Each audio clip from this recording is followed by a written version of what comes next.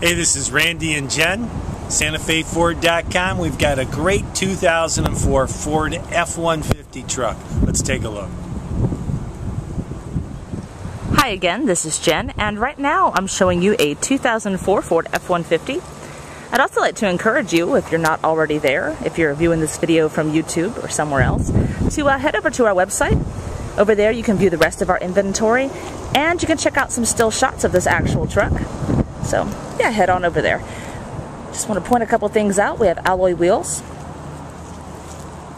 a toolbox, and you have a bed liner already installed for you. So this is a work truck. Uh, you got your crank windows and your vinyl floors. At least I think it's vinyl. It's not carpet, so. Um, but you also have a CD player with AM/FM radio and a little USB port over here. Cruise control, and front airbags. The seats are cloth, and overall the interior is in pretty good condition. The only exception is this tear right here. But that's the only one I've seen, so otherwise not too bad. Under the hood you have a 4.2 liter engine. Thanks for taking a look at our 2004 Ford F-150.